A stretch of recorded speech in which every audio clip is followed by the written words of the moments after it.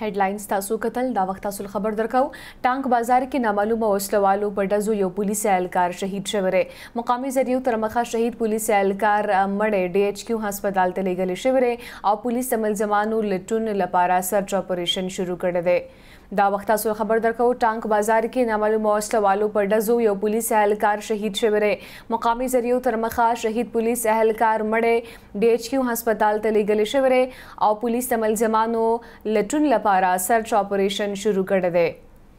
ټانک بازار کې نامعلوم وسله والو پر ډزو یو پولیس اهلکار شهید شوی دی مقامی ذریعو تر مخه شهید پولیس اهلکار مړی ډي ايچ کيو هسپتال ته لېږل شوی دی او پولیس د ملزمانو لټون لپاره سرچ اپرېشن شروع کړی دی.